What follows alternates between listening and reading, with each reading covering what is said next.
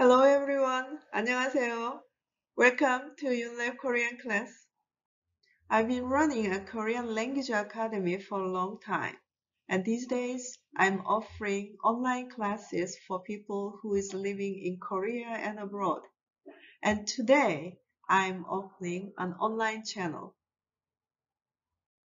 Through this course, you will get to the point where not only can use some useful expressions, but also get the ability to expand the Korean by yourself. For this, I will start with the alphabet and then I will focus on all four skills, listening, speaking, reading, and writing. I will do my best to make you enjoy learning Korean. Before the class, it will be helpful to check the category of Korean character belongs to. And let's think about the syllable structure of English first. Here, consonant B meets vowel A makes ba.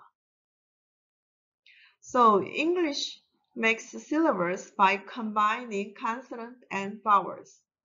Like English, Korean syllables also need consonants and vowels. The two languages are completely different. I mean language. But the principle of making syllables and words are very similar. So today we are going to talk about consonants first, especially 14 basic consonants. Okay, let's get started to meet 578 years old writing system for the Korean language. Are you ready? I have a quick question. If you were in a project to make a new alphabet, how would you make it? Do you have any good idea? Me? Sorry, I don't come up with any ideas. However, the great King Sejong, who created the Korean alphabet, made the consonants formed after the voice organs. Voice organs? What are they? They are organs used to make speech, such as lips, teeth, jaw, tongue, hard palate, soft palate, uvula, vocal cord, etc. Among them, Korean letters were created after the shape of the lips, teeth, tongue, and throat. Now let's look at the interesting process of transforming the shape of these voice organs into letters. Let's take a look at this. Can you guess which organ this letter imitates. What does it look like? Lips, teeth, tongue? The answer is tongue root. When you make a sound, g, g, do you know how your tongue root works? It is very hard to describe, I know. But science is showing us clearly. Let's look at the left first. Can you find where the tongue root is? Yes, here. And this is soft palate and this is uvula. So they are down and relaxing. However, as soon as you make the sound g, g, so the tongue root is rising rising up like here, like this. And then block the throat. And even the soft palate and then uvula is rising up like this. So the letter G came from here, tongue root. In this way, the letter G created after the shape of the tongue root. Now let's find the sister of g. I mean, In English alphabet, is there any letter pronounced with the tongue root rising like G? A, B, C, D? Yes, there is a K. K and K. Can you feel both sounds came from the back part, I mean the tongue root? Now let's think about the letter. To indicate k, we need one more stroke, here in red. So adding strokes means one small line has its feature to distinguish one from the others. So when you add one more stroke, the sound gets stronger. K and k. Now let's talk about n. N, the second base consonant. When you say n, where is your tongue tip? N, n, n. Yes, it touches the back of the upper teeth, like this. So, n is formed after the shape of the raised tongue tip. Now, can you find the sister of n in English? Again, A, B, C, D. Yes, there is D, T, and L. So those three letters just touch the backside of the upper teeth. You can check yourself. I mean, stop this video and try to write the letters while adding strokes. It will be fun. Here they are. You did? We can make these three letters by adding strokes to the base form n. Let me show you. And I will write four n. One, two, three, and four. Okay, and I will add one stroke. Makes two, two, and two strokes, one and two, t, t, and then three strokes, one and two and three, make l, l. So here, the important point is all four consonants still contain the base letter n at their bottom.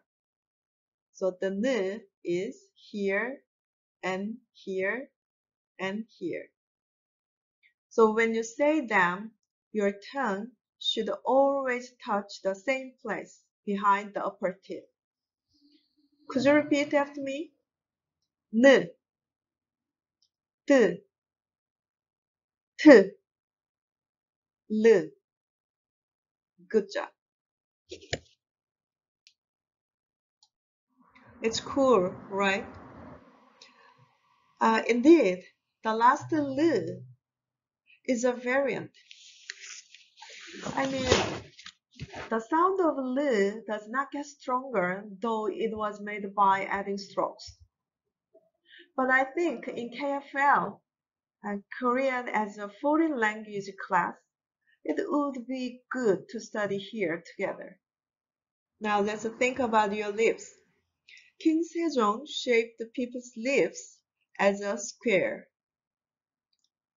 and made the letter M, the third base consonant. It's easy to memorize. So, can you find the sisters of M? Yes, there are B and P. B is added vertical strokes and P is added horizontal strokes. What you need to remember is there are still M in those letters here and here. So you can easily catch the sound when you see the square m, p, p, came from your lips. Let's talk about the teeth. The first base consonant. So the letter S formed after the upper teeth and the lower teeth.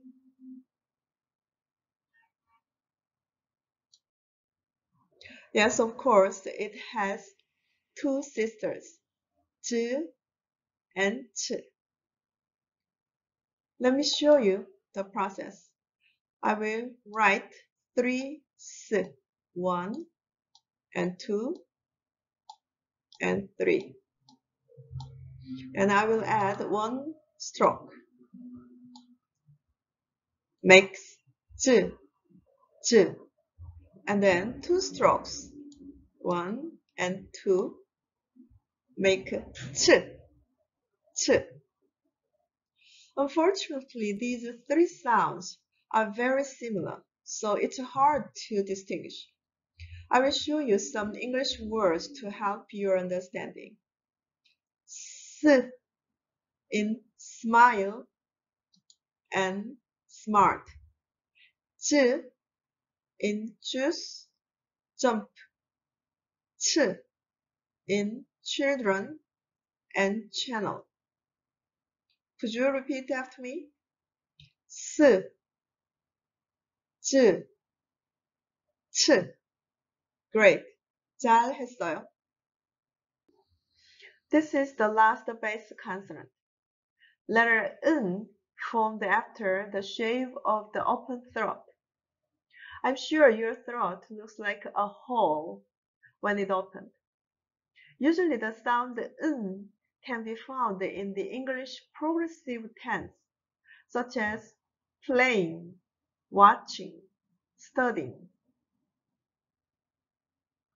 You can make her sister h by adding two more strokes. n, h. Anyway, I think you have a question at this point. Do you have? If you follow the rule, you can easily infer the letter with the one stroke. Now you can make it by yourself. Try. Yes, here it is with one stroke. And but these days we don't use it anymore. As you know, in the world there are various ways to express the onomatopoeia for laughter ha ha ha in letters. In Korea we use hu and kk.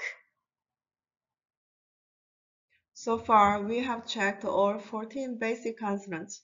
Now let's check and practice all of them. Could you repeat after me? Thinking the principle. Okay. Good. k n t t l m b p s. J. Ch n. H. Good now you know the principle of consonant generation. First, the letters formed after the shape of the voice organs. This picture shows that five basic consonants are shaped after where they are pronounced. K, N, M, S, N. Second, the five basic consonants g, n, m, s, n are the basis for creating the other nine derived consonants by adding strokes. Today we studied the 14 basic consonants. I hope you enjoyed the first class. It's not that much difficult, right? People say Korean language is pretty difficult for English speakers. It's true, but learning letters is not that much and even easy. Next time, I will give you some useful tips about consonants for your confidence. Have a nice day. 안녕히 계세요.